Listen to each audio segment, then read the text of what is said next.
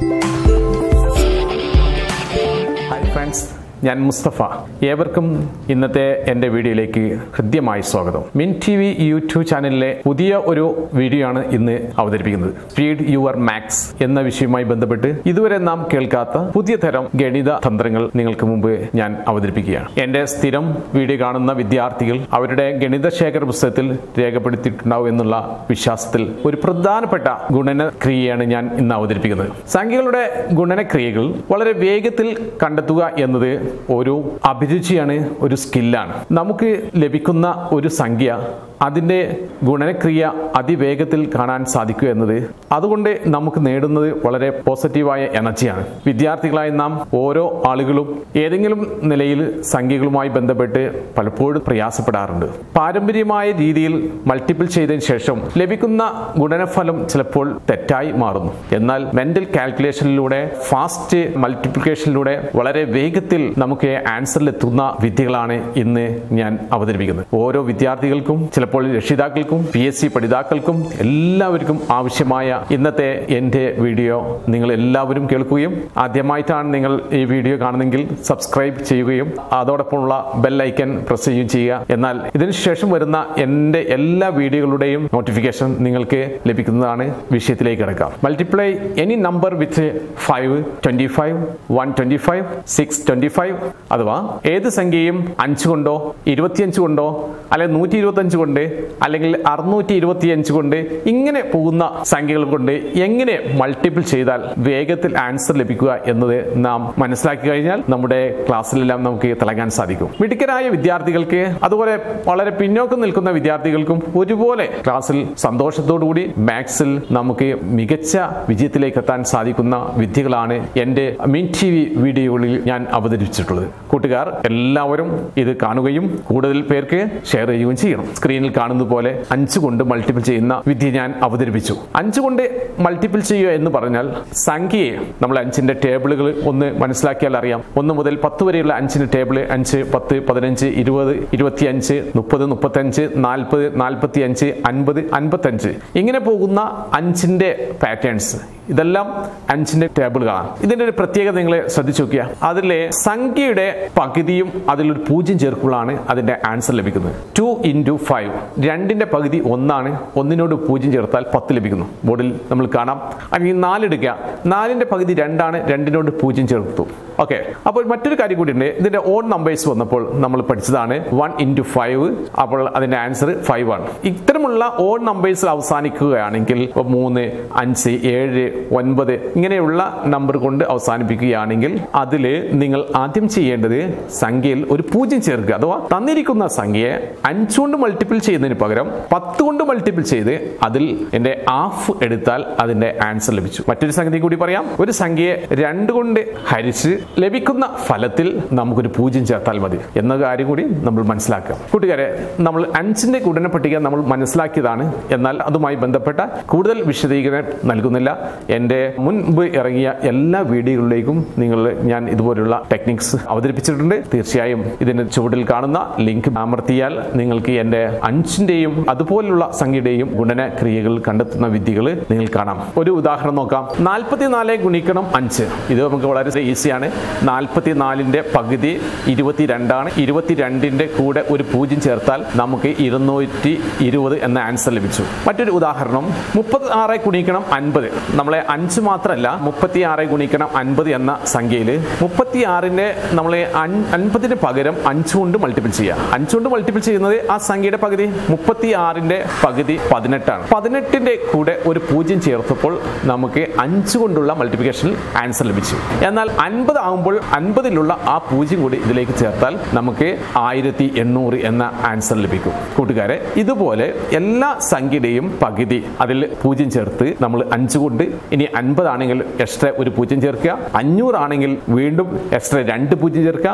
അയ്യായിരം ഉള്ളതാണെങ്കിൽ ഇതുപോലെ ചെയ്യാം. ഇനി സംഖ്യയിൽ തന്നെ പൂജ്യം വന്നാൽ സംഖ്യയിൽ പൂജ്യം വന്ന് അഞ്ച് കൊണ്ട് മൾട്ടിപ്പിൾ ചെയ്യുന്നു. സംഖ്യയിൽ പൂജ്യം വന്നു ഒരു സംഖ്യയിൽ ഒന്നോ രണ്ടോ മൂന്നോ പൂജ്യം വന്നു. അപ്പോൾ അഞ്ചിന് പകരം അൻപത് അഞ്ഞൂറ് അയ്യായിരം ഇങ്ങനെ വരുന്നു. അഞ്ച് കൊണ്ട് മൾട്ടിപ്പിൾ ചെയ്യുന്ന വിധി തന്നെയാണ് നമ്മൾ ഇവിടെ സ്വീകരിക്കേണ്ടത്. പൂജ്യങ്ങൾ മാത്രം മാറ്റി മാറ്റിവെച്ചാൽ നമുക്കൊരു സംഖ്യ ലഭിക്കും. ആ സംഖ്യയെ അഞ്ച് കൊണ്ട് മൾട്ടിപ്പിൾ ചെയ്തപ്പോൾ നമുക്ക് കിട്ടുന്ന ആൻസർ ഇത്രയാണ്. ഈ രണ്ട് സംഖ്യയിലും എത്ര പൂജ്യങ്ങളുണ്ടോ ആ പൂജ്യങ്ങൾ ഗുണന ഫലത്തിന്റെ വലത് ഭാഗത്ത് ചേർത്ത് കൊടുത്താൽ നമുക്ക് ആൻസർ ലഭിക്കും. എണ്ണൂറ്റി ഇരുപത്തി അഞ്ച് ഗുണിക്കണം അഞ്ച് എന്നൊരു സംഖ്യയാണ്. എണ്ണൂറ്റി ഇരുപത്തി അഞ്ച് എന്നത് ഓഡ് നമ്പറാണ് അഞ്ചിലാണ് അവസാനിക്കുന്നത്. അപ്പോൾ നിങ്ങൾ ഒരു കാര്യം മനസ്സിലാക്കണം. ആ സംഖ്യയുടെ പകുതി എടുക്കുമ്പോൾ ചിലപ്പോൾ പോയിന്റ് അഞ്ചിലേക്കും പോയിന്റ് അങ്ങനെയെല്ലാം വരും. അതുകൊണ്ട് പോയിന്റ് നമുക്ക് മാനിക്കാതെ ഈ സംഖ്യയിൽ പൂജ്യം നൽകുക. എണ്ണായിരത്തി ഇരുന്നൂറ്റി അൻപത് നൽകുക എണ്ണായിരത്തി ഇരുന്നൂറ്റി അൻപതിന്റെ ആവ് നാലായിരത്തി ഒരുന്നൂറ്റി ഇരുപത്തഞ്ച് ആദ്യം പൂജ്യം നൽകിയതുകൊണ്ട് ഇനി പൂജ്യം നൽകേണ്ടത് ആവശ്യമില്ല.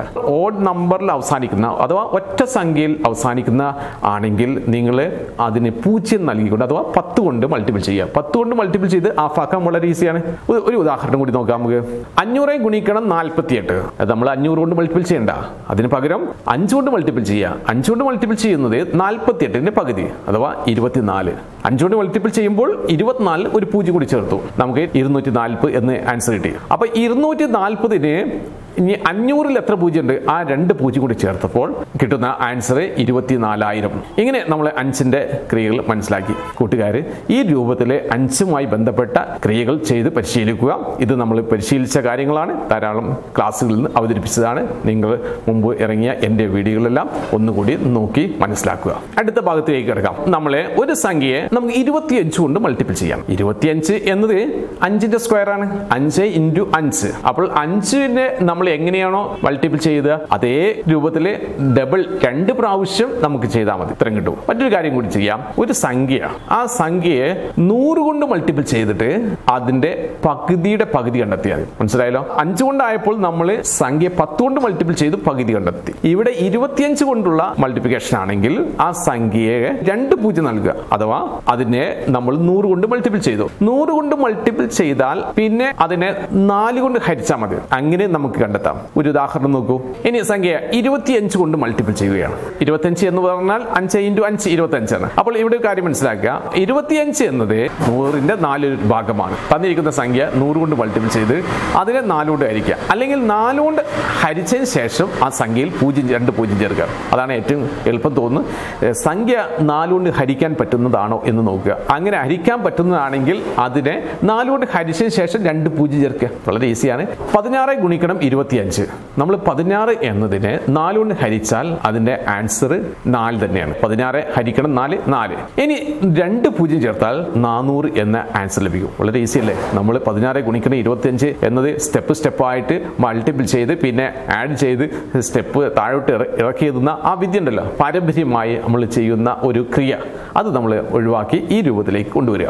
നാൽപ്പത്തിനാല് ഗുണിക്കണം ഇരുപത്തിയഞ്ച് എന്ന സംഖ്യയിലേക്ക് നമുക്ക് നോക്കാം. ഇവിടെ നാൽപ്പത്തിനാലിനെ നമുക്ക് എല്ലാവർക്കും അറിയാം നാലുകൊണ്ട് ഹരിക്കാൻ. നാലുകൊണ്ട് ഹരിച്ചാൽ നമുക്ക് കിട്ടുന്നത് പതിനൊന്നാണ്. പതിനൊന്നിന്റെ കൂടെ രണ്ട് പൂജ്യം ചേർത്താൽ മതി വളരെ ഈസിയാണ് അല്ലേ? അല്ലെങ്കിൽ നിങ്ങൾ അതിന് പകരം നാൽപ്പത്തി നാലിൽ രണ്ട് പൂജ്യം ചേർക്കും. രണ്ട് പൂജ്യം ചേർപ്പോൾ നാലായിരത്തി നാനൂറ് നാലായിരത്തി നാനൂറിന്റെ പകുതിയിൽ രണ്ടായിരത്തി ഇരുന്നൂറ് രണ്ടായിരത്തി ഇരുന്നൂറിന്റെ പകുതിയിൽ അപ്പോൾ ആയിരത്തി ഒരുന്നൂറ് വളരെ ഈസിയാണ്. അങ്ങനെ നിങ്ങൾക്ക് ക്രിയേറ്റ് ചെയ്യാം. ഏതെങ്കിലും ഒരു മെത്തേഡ് നമ്മൾ നന്നായി പഠിച്ചിരിക്കുന്നത് നന്നായിരിക്കും. അപ്പോൾ മറ്റൊരു ഉദാഹരണം. എൺപത്തി എട്ട് ഗുണിക്കണം ഇരുപത്തിയഞ്ച്. അതിനെ നാലുകൊണ്ട് ഹരിച്ചാൽ അപ്പോൾ ഇരുപത്തിരണ്ട് എന്ന് കിട്ടും. ഇരുപത്തിരണ്ടിൽ രണ്ട് പൂജ്യം ചേർക്കുക. അപ്പോൾ നമുക്ക് ആൻസർ രണ്ടായിരത്തി ഇരുന്നൂറ് എന്ന ഉത്തരമാണ്. ഒരു സംഖ്യ ഇരുപത്തിയഞ്ച് കൊണ്ട് മൾട്ടിപ്പിൾ ചെയ്യുന്നത് സംഖ്യയെ നാലുകൊണ്ട് ഹരിക്കാൻ പറ്റുമെങ്കിൽ നാലുകൊണ്ട് ഹരിച്ചിട്ട് രണ്ട് പൂജ്യം ചേർക്കുക. നാലുകൊണ്ട് ഹരിക്കാൻ പറ്റാത്ത സംഖ്യ ആണെങ്കിൽ അതിൽ രണ്ട് പൂജ്യം ആദ്യം ചേർക്കുക. എന്നിട്ട് അതിനെ നാലുകൊണ്ട് ഹരിക്കുക. അപ്പോൾ കൃത്യമായി ആൻസറിലേക്ക് എത്താൻ നമുക്ക് സാധിക്കും. ഉദാഹരണം നോക്കാം. ഇരുന്നൂറ്റി നാൽപ്പത്തി അഞ്ച് ഗുണിക്കണം ഇരുപത്തിയഞ്ച്. കൂട്ടുകാരെ ഈ സംഖ്യ നാലുകൊണ്ട് നമുക്ക് കൃത്യമായി അരിക്കാൻ സാധ്യമല്ല. ആ സമയത്ത് നിങ്ങൾ രണ്ട് പൂജ്യം നൽകുക. അപ്പോൾ നമുക്ക് ആൻസർ ഇരുപത്തിനാലായിരത്തി അഞ്ഞൂറ് എന്നാണ്. ഇരുപത്തിനാലായിരത്തി അഞ്ഞൂറിന് പകുതിയെ കണ്ടെത്തുക. അതിന്റെ പകുതിയും കണ്ടെത്തിയാൽ ആൻസർ ലഭിക്കും. ഇരുപത്തിനാലായിരത്തി അഞ്ഞൂറിന്റെ പകുതി പന്ത്രണ്ടായിരത്തി ഇരുന്നൂറ്റി അൻപതാണ് പന്ത്രണ്ടായിരത്തി ഇരുന്നൂറ്റി അൻപതിന്റെ പകുതി നമുക്ക് ആറായിരത്തി ഒരുന്നൂറ്റി ഇരുപത്തി അഞ്ച് ഇങ്ങനെ നമ്മുടെ മനക്കണക്കിലെ മെന്റൽ പ്രോസസ്സിലൂടെ ഉത്തരത്തിലേക്ക് എത്താനുള്ള വിദ്യകൾ നമ്മൾ പരിശീലിക്കേണ്ടത് അത്യാവശ്യമാണ്. ഈ ഉദാഹരണങ്ങളിലൂടെല്ലാം നമുക്ക് മനസ്സിലാക്കാം. ഒരു സംഖ്യ ആ സംഖ്യയുടെ പകുതി എടുത്തു വീണ്ടും പകുതി എടുത്തു രണ്ട് പൂജ്യം ചേർത്താൽ നമുക്ക് ഇരുപത്തിയഞ്ച് കൊണ്ട് മൾട്ടിപ്പിൾ ചെയ്യാം. സംഖ്യകളിലെ പൂജ്യങ്ങൾ ചേർന്ന് വന്നു. അപ്പോൾ പൂജ്യങ്ങൾ ചേർന്ന് തുടർന്ന് വന്ന ഒരുപാട് ക്രിയകൾ നമ്മൾ മനസ്സിലാക്കിയതാണ്. എങ്കിലും ഒരിക്കൽ ഒരു ഉദാഹരണം കൂടി നോക്കാം. മുന്നൂറ്റി അറുപത് ഗുണിക്കണം ഇരുന്നൂറ്റി അൻപത് മുന്നൂറ്റി അറുപതും ഇരുന്നൂറ്റി അൻപതും എന്നത് വലിയൊരു സംഖ്യയായി നമുക്ക് തോന്നാം. എന്നാൽ ആ രണ്ട് പൂജ്യങ്ങൾ മാറ്റിച്ചാൽ നമുക്ക് മുപ്പത്തി ആറ് ഗുണിക്കണം ഇരുപത്തിയഞ്ച് എന്ന ഒരു സംഖ്യ ലഭിക്കുന്നു. ഈ മുപ്പത്തി ആറ് എന്നത് നാലിന്റെ ഗുണനത്തിലേക്ക് പോവുകയാണെങ്കിൽ നമുക്ക് ഒൻപതിന്റെ ഗുണന സംഖ്യയാണിത്. ഒൻപത് ഇഞ്ചു നാല് മുപ്പത്തി ആറാണ് അപ്പോൾ മുപ്പത്തി ആറിന് നാലുകൊണ്ട് ഹരിച്ചാൽ ഒൻപത് കിട്ടും. ഇനി എന്ത് ചെയ്യണം? ആ സംഖ്യയിൽ രണ്ട് പൂജ്യം ചേർത്താൽ അതിന്റെ ആൻസർ തൊള്ളായിരം എന്ന് ലഭിക്കുന്നു. ഇനി തീർന്നിട്ടില്ല. ഇവിടെ രണ്ട് പൂജ്യങ്ങൾ കൂടി നമ്മൾ മാറ്റി വെച്ചിട്ട് ആ രണ്ട് പൂജ്യങ്ങളും വലത് ഭാഗത്തേക്ക് ചേർത്ത് ആ ഉത്തരം ശരിയാക്കാം. ഇത്തരമുള്ള സംഖ്യകൾ ഇതുപോലെ അതിൽ ദശാംശ സംഖ്യകൾ പൂജ്യങ്ങൾ വരുന്ന സംഖ്യകൾ ഇതെല്ലാം നമുക്ക് ഒരുപാട് ചെഴുതിച്ചെഴുത് നമ്മൾ ഏത് ക്ലാസ്സിൽ ചെറിയ പ്രൈമറി ക്ലാസ് മുതൽ കോളേജ് അല്ലെങ്കിൽ പി എസ് സി വിദ്യാർത്ഥികൾക്ക് പോലും ഇത് വളരെ ഫാസ്റ്റ് ആയിട്ട് സ്പീഡായിട്ട് ആൻസർ കണ്ടെത്തുന്ന വിദ്യയാണ് നാം ഇന്ന് മനസ്സിലാക്കിയിരിക്കുന്നത്. അടുത്ത സംഖ്യയിലേക്ക് നമുക്ക് കിടക്കാം നൂറ്റി ഇരുപത്തി അഞ്ച് കൊണ്ട് മൾട്ടിപ്പിൾ ചെയ്യാൻ വേണ്ടി തരുന്ന ഒരു സംഖ്യ. പി എസ് സി ക്ലാസ്സുകളിലാണ് ഇത്തരം സംഖ്യകൾ കൂടുതൽ വരുന്നത്. അല്ലെങ്കിൽ മറ്റുള്ള വിദ്യാർത്ഥികൾക്ക് വളരെ ആവശ്യമുള്ള ഒരു ഭാഗമാണ് ഇങ്ങനെയുള്ള മൾട്ടിപ്ലിക്കേഷനുമായി ബന്ധപ്പെട്ട ചോദ്യങ്ങൾ. ഇവിടെ നൂറ്റി ഇരുപത്തി അഞ്ച് കൊണ്ട് മൾട്ടിപ്പിൾ ചെയ്യണം ഒരു സംഖ്യ നൂറ്റി ഇരുപത്തി അഞ്ച് കൊണ്ട് മൾട്ടിപ്പിൾ ചെയ്യുന്നതിന് മുമ്പ് നമ്മൾ കാര്യം മനസ്സിലാക്കുക. നൂറ്റി ഇരുപത്തിയഞ്ച് എന്ന് പറഞ്ഞാൽ ആയിരത്തിന്റെ എട്ടിൽ ഒരു ഭാഗമാണ്. അഥവാ നൂറ്റി ഇരുപത്തി അഞ്ചിനെ എട്ട് കൊണ്ട് മൾട്ടിപ്പിൾ ചെയ്താൽ ആയിരം ലഭിക്കുന്നു. ആയിരത്തിനെ എട്ട് കൊണ്ട് ഹരിച്ചാൽ നമുക്ക് നൂറ്റി ഇരുപത്തി അഞ്ച് കിട്ടും അപ്പോൾ ഇവിടെ നമ്മൾ അഞ്ച് കൊണ്ട് മൾട്ടിപ്പിൾ ചെയ്തു ഇരുപത്തി അഞ്ച് കൊണ്ട് മൾട്ടിപ്പിൾ ചെയ്തു ഇപ്പോൾ നൂറ്റി ഇരുപത്തഞ്ച് കൊണ്ട് മൾട്ടിപ്പിൾ ചെയ്യുന്ന ക്രിയയാണ്. ഉദാഹരണം നോക്കാം. അറുപത്തിനാല് ഗുണിക്കണം നൂറ്റി ഇരുപത്തഞ്ച് സംഖ്യയെ പകുതിയുടെ പകുതി കണ്ടെത്തി അതിന്റെ പകുതി മൂന്നാമത്തെ പകുതി കണ്ടെത്തുക. മറ്റൊരു വിധം മനസ്സിലാക്കുക. സംഖ്യയെ നമ്മൾ എട്ട് കൊണ്ട് ഹരിച്ചാൽ മതി. അറുപത്തിനാല് ഗുണിക്കണം നൂറ്റി ഇരുപത്തഞ്ച് അറുപത്തിനാല് എന്നത് എട്ട് കൊണ്ട് ഹരിച്ചാൽ ആൻസർ എട്ടാണ് ലഭിക്കുക. എട്ടിന് ശേഷം നമുക്കൊരു മൂന്ന് പൂജ്യം ചേർത്താൽ മതി. തന്നിരിക്കുന്ന സംഖ്യ അറുപത്തിനാല് അറുപത്തിനാലിന്റെ പകുതി അതിന്റെ പകുതി വീണ്ടൊരു പകുതി മൂന്നാമത്തെ പകുതി കണ്ടെത്തിയാൽ നമുക്ക് ആൻസർ എയ്റ്റ് കിട്ടും. അപ്പോൾ ഈ എയ്റ്റിനോട് മൂന്ന് പൂജ്യങ്ങൾ ചേർത്താൽ അതിന്റെ ആൻസർ ലഭിക്കുകയാണ്. ഇതുപോലെയുള്ള ഒരുപാട് ചോദ്യങ്ങൾ നമുക്ക് ചെയ്ത് നോക്കാം. പതിനാറ് ഗുണിക്കണം നൂറ്റി ഇരുപത്തി അഞ്ച് വളരെ ഈസിയാണ്. പല വിധത്തിൽ നമുക്ക് കണ്ടെത്താൻ സാധിക്കും. പതിനാറിനെ നമുക്ക് എട്ട് കൊണ്ട് ഹരിക്കുക. പതിനാറ് ഹരിക്കണം എട്ട് സമം രണ്ട്. രണ്ടിലെ മൂന്ന് പൂജ്യം ചേർത്താൽ രണ്ടായിരം എന്ന ആൻസർ ലഭിക്കുന്നു. ഈസിയാണല്ലോ. അടുത്ത് ചോദ്യത്തിലേക്ക് എടുക്കാം. എൺപത്തി എട്ട് ഗുണിക്കണം നൂറ്റി ഇരുപത്തി അഞ്ച് എൺപത്തി എട്ടിനെ നമുക്ക് എട്ട് കൊണ്ട് ഹരിച്ചാൽ ആൻസർ ലഭിക്കുന്നത് പതിനൊന്നാണ്. പതിനൊന്നിൽ മൂന്ന് പൂജ്യം ചേർത്താൽ ആൻസർ ലഭിക്കും പതിനൊന്നായിരം എന്ന. ഇതുപോലെ നമുക്ക് തന്നിരിക്കുന്ന സംഖ്യ അഞ്ചാണെങ്കിൽ നമ്മൾ സംഖ്യയുടെ പകുതി കണ്ട് പൂജ്യം ചേർക്കുന്നു. ഇരുപത്തിയഞ്ചാണെങ്കിൽ സംഖ്യയെ നാലുകൊണ്ട് ഹരിച്ച് രണ്ട് പൂജ്യം ചേർക്കുന്നു.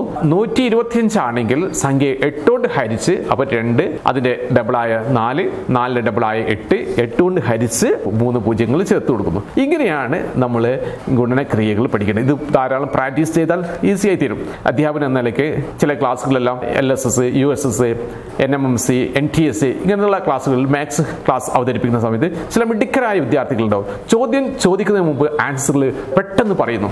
ഞാൻ അത്ഭുതപ്പെടാറുണ്ട് ചില സമയത്തല്ല ഞാൻ എന്റെ കുട്ടികൾക്ക് ഗിഫ്റ്റ് കൊടുക്കും. മാത്രമല്ല അഭിനന്ദിക്കുകയും ചെയ്യും. ഇതെല്ലാം അവരുടെ ജീവിതത്തിൽ എവിടെയെങ്കിലും കണ്ടുപോയ ചില ക്രിയകളാണ്. അത് വളരെ ഫാസ്റ്റായിട്ട് അവരുടെ മെമ്മറിയിൽ മൈൻഡ് കാൽക്കുലേഷൻ ചെയ്യാനുള്ള ഐഡിയകൾ അവർക്ക് സ്വായത്തമാക്കിയിട്ടുണ്ട്. കൂട്ടുകാരെ നമ്മളെല്ലാവരും ഇതുപോലെ ക്ലാസ്സിൽ മിടുക്കരായി തീരണമെങ്കിൽ നമുക്ക് ഇത്തരമുള്ള വിദ്യകൾ മനസ്സിലാക്കിയിരിക്കേണ്ടതാണ്. ഇതുവരെ സൂചിപ്പിച്ച സംഖ്യകളെല്ലാം നമുക്ക് എട്ട് കൊണ്ട് കൃത്യമായിട്ട് ഡിവൈഡ് ചെയ്യാൻ പറ്റുന്നതാണ് അഥവാ ഹരിക്കാൻ പറ്റുന്ന സംഖ്യകളാണ്. എന്നാൽ മറ്റൊരു ഉദാഹരണം നോക്കാം. കൃത്യമായി എട്ട് കൊണ്ട് ഹരിക്കാൻ പറ്റാത്ത ചില സംഖ്യകൾ വരും. അപ്പോഴേ നമ്മൾ എന്ത് ചെയ്യണം? ഹരിക്കുന്നതിന് പകരം മൂന്ന് പൂജ്യങ്ങൾ ആദ്യം നൽകുക. പൂജ്യങ്ങൾ നൽകിയ ശേഷം ആഫ് എടുക്കുക ആഫ് എടുക്കുക ആഫ് എടുക്കുക ഇങ്ങനെയാക്കി കൊണ്ടുപോകാം അതാണ് ഏറ്റവും നല്ലത്. ഉദാഹരണം അഞ്ഞൂറ്റി ഇരുപത്തിനാല് ഗുണിക്കണം നൂറ്റി ഇരുപത്തഞ്ച് അഞ്ഞൂറ്റി ഇരുപത്തിനാലിന് നമുക്ക് എട്ട് കൊണ്ട് ഡിവൈഡ് ചെയ്യാൻ ചിലപ്പോൾ ഹരിക്കാൻ ചിലപ്പോൾ കുട്ടികൾക്ക് പ്രയാസമായിരിക്കും. പാരമ്പര്യമായി ഹരിച്ച് രൂപത്തിൽ കൊണ്ടുവരുമ്പോൾ മനക്കണക്കിൽ ഹരിക്കാൻ പറ്റുമെങ്കിൽ ഹരിച്ചുണ്ട്. അതിന് ഏറ്റവും നല്ലത് ആഫ് എടുക്കുക ആഫ് എടുക്കുക അങ്ങനെ കൊണ്ടുവന്നാണ്. യെസ് അഞ്ഞൂറ്റി ഇരുപത്തിനാല് ഗുണിക്കണം നൂറ്റി ഇരുപത്തഞ്ച് എന്ന സംഖ്യ എടുക്കുക ഇതിനെ നമുക്ക് നേരെ ഡിവൈഡ് ചെയ്യാൻ ചിലപ്പോൾ പ്രയാസമാണ്. അപ്പോൾ നമുക്ക് എന്ത് ചെയ്യാം? മൂന്ന് പൂജ്യം നൽകുക പൂജ്യം നൽകിയാൽ കൃത്യമായിട്ട് നിങ്ങൾക്ക് അവസാനം വരെ ആഫ് എടുക്കാൻ എളുപ്പമായിരിക്കും. അഞ്ഞൂറ്റി ഇരുപത്തിനാല് അതിന്റെ ആഫ് ഇരുന്നൂറ്റി അറുപത്തി രണ്ട് എന്നാണ്. അപ്പോൾ പിന്നെ മൂന്ന് പൂജ്യങ്ങൾ താഴോട്ട് ഇറക്കിടുക ഇരുന്നൂറ്റി അറുപത്തി രണ്ട് മൂന്ന് പൂജ്യങ്ങൾ. അതിന്റെ നേരെ ആഫ് രണ്ടിന്റെ ഹാഫ് ഒന്നാണ് ആറിന്റെ ഹാഫ് മൂന്നാണ് രണ്ടിന്റെ ഹാഫ് ഒന്നാണ് പിന്നെ മൂന്ന് പൂജ്യം. അപ്പോൾ നമുക്ക് ആൻസർ നൂറ്റി മുപ്പത്തി ഒന്ന് മൂന്ന് പൂജ്യം എന്ന രൂപത്തിൽ ലഭിക്കും. വലിയ സംഖ്യയാണ്. കുട്ടികൾക്കെല്ലാം ചെറിയ കുട്ടികൾക്ക് വേണ്ടിയിട്ടാണ് ആ, മുറിച്ച് പറയുന്നത്. നൂറ്റി മുപ്പത്തി ഒന്ന് പൂജ്യം പൂജ്യം പൂജ്യം. ഇനി അതിന്റെ കൂടി ഇടുക. ഈ സംഖ്യയുടെ ഹാഫ് അറുന്നൂറ്റി അൻപത്തി അഞ്ച് പൂജ്യം പൂജ്യം. അപ്പോൾ നമുക്ക് എത്ര ഘട്ടമായി ഒന്ന് രണ്ട് മൂന്ന് സ്റ്റെപ്പായിട്ട് ഹാഫ് എടുത്ത് ഹാഫ് എടുത്ത് ഹാഫ് എടുത്ത് വരുമ്പോൾ ഇതാണ് ഇതിന്റെ ആൻസർ. കൃത്യമായി എട്ട് കൊണ്ട് ഹരിക്കാൻ പറ്റാത്ത സംഖ്യയാണെങ്കിൽ ഇങ്ങനെ നമുക്ക് പൂജ്യങ്ങൾ നൽകി മൂന്ന് പൂജ്യങ്ങൾ നൽകി അങ്ങനെ ഹാഫ് എടുത്ത് ഹാഫ് എടുത്ത് ഹാഫ് എടുത്ത് കൊണ്ടുവരാം. ഇത് കൂടുതൽ പ്രാക്ടീസ് ചെയ്ത് ഇങ്ങനെയുള്ള അഞ്ചിൽ അവസാനിക്കുന്ന സംഖ്യയുടെ ഗുണനക്രിയകൾ ചെയ്യാം. ഇനി അടുത്തൊരു ഭാഗമാണ് അറുന്നൂറ്റി ഇരുപത്തഞ്ച്. ഇതും ഇതേ ഇതിന്റെ രൂപത്തിൽ പോവാണ്. ഫൈവ് ഫൈവിന്റെ സ്ക്വയറാണ് ട്വന്റി ഫൈവ് ഫൈവിന്റെ ക്യൂബാണ് വൺ ട്വന്റി ഫൈവ് അതിന്റെ ഫൈവ് റൈസ് ഫോറാണ് അറുന്നൂറ്റി ഇരുപത്തഞ്ച് ഇങ്ങനെ അറുന്നൂറ്റി ഇരുപത്തി അഞ്ചിൽ അവസാനിക്കുന്ന ഒരു സംഖ്യ കൊണ്ട് മൾട്ടിപ്പിൾ ചെയ്താൽ എങ്ങനെ ആൻസറിലേക്ക് എത്താം എന്നുള്ളതാണ് നമുക്ക് മനസ്സിലാക്കേണ്ടത്. ഉദാഹരണം മുപ്പത്തിരണ്ട്. മുപ്പത്തിരണ്ട് ഗുണിക്കണം അറുന്നൂറ്റി ഇരുപത്തഞ്ചതാണെങ്കിൽ അറുന്നൂറ്റി ഇരുപത്തഞ്ച് എന്ന സംഖ്യയെ ഒരു സംഖ്യയോട് മൾട്ടിപ്പ് ചെയ്യുന്നത് നമുക്ക് സംഖ്യ പതിനാറ് കൊണ്ട് ഹരിക്കാം. മുപ്പത്തിരണ്ടിന് പതിനാറ് കൊണ്ട് ഹരിച്ചാൽ രണ്ടായിരിക്കും. രണ്ടിൽ ശേഷം നമുക്കൊരു നാല് പൂജ്യം കൊടുത്താൽ മതി. പതിനായിരം എന്ന എന്ന സംഖ്യ എന്ന് ലഭിച്ചിരിക്കുന്നു. അഞ്ച് കൊണ്ടാണെങ്കിൽ ഒരു പൂജ്യവും ഇരുപത്തഞ്ചാണെങ്കിൽ രണ്ട് പൂജ്യവും നൂറ്റി ഇരുപത്തഞ്ചാണെങ്കിൽ മൂന്ന് പൂജ്യവും. ഇവിടെ അറുന്നൂറ്റി ഇരുപത്തി അഞ്ചാണെങ്കിൽ നാല് പൂജ്യം കൂടി നൽകുക. നാല് പൂജ്യം കൊടുത്താൽ ഇതിന്റെ ആൻസർ ലഭിച്ചിരിക്കും. ഇങ്ങനെയുള്ള ഓരോ സംഖ്യയിൽ നമ്മൾ എന്ത് ചെയ്യും? മനക്കണക്കിൽ ഉത്തരത്തിലേക്ക് എത്താനുള്ള വിദ്യകളാണ് കണ്ടെത്തേണ്ടത്. കൃത്യമായി ഹരിക്കാൻ പറ്റില്ല. എങ്കിൽ ആ സംഖ്യയിൽ നാല് പൂജ്യം കൊടുക്കുക. ഏത് സംഖ്യയാണോ അതിനെ അറുന്നൂറ്റി ഇരുപത്തഞ്ച് കൊണ്ട് മൾട്ടിപ്പിൾ ചെയ്യുകയാണെങ്കിൽ അതിൽ നാല് പൂജ്യം കൊടുക്കുക. ഒന്ന് അധികമായിട്ട് നേരത്തെ നമ്മൾ മൂന്ന് സ്റ്റെപ്പായിട്ട് ആഫ് എടുത്തു. എന്നാൽ അടുത്ത് നാല് സ്റ്റെപ്പായിട്ട് ആഫ് എടുത്തിട്ട് നമുക്ക് ഉത്തരത്തിലേക്ക് എത്താം. കൂട്ടുകാരെ ഇതാണ് ഇന്നത്തെ വീഡിയോയിൽ പ്രധാനമായിട്ട് നമ്മൾ മനസ്സിലാക്കുന്നത്. ഈ വീഡിയോ കേട്ടതുകൊണ്ട് മാത്രം നമുക്ക് കാര്യങ്ങൾ മനസ്സിലാകുന്നില്ല നമ്മൾ കൂടുതൽ പരിശീലിക്കുമ്പോഴാണ് ഇതിന്റെ ഉത്തരത്തിലേക്ക് എത്താൻ സാധിക്കുന്നത്. പരീക്ഷ എഴുതുന്ന L S S U S S വിദ്യാർത്ഥികൾക്ക് വളരെ ഉപകരിക്കുന്ന ഒരു ഭാഗമാണ് ഇന്ന് ഞാൻ അവതരിപ്പിക്കുന്നത്. തീർച്ചയായും നിങ്ങൾ ഈ വീഡിയോ മുഴുവനായി കാണുകയും ആദ്യമായിട്ടാണ് ഈ വീഡിയോ കാണുന്നതെങ്കിൽ സബ്സ്ക്രൈബ് ചെയ്യാൻ മറക്കാതിരിക്കുക. കൂടുതൽ പേർക്ക് ഷെയർ ചെയ്യുക. വിദ്യാർത്ഥികൾ എല്ലാവരും ഗണിതത്തിൽ മിടുക്കരാവട്ടെ. വിദ്യാർത്ഥികളായ ഓരോ ആളുകളും നമ്മുടെ മാത്സിലുണ്ടാകുന്ന താല്പര്യം വർദ്ധിപ്പിക്കാനും ഇൻട്രസ്റ്റ് കൂടി ഇൻട്രസ്റ്റോടുകൂടി പഠിക്കാനും മികച്ച പ്രകടനം കാഴ്ചവെക്കാനും നിങ്ങൾക്ക് സാധിക്കട്ടെ. ഇന്നത്തെ വീഡിയോ ഇവിടെ അവസാനിപ്പിക്കുകയാണ്.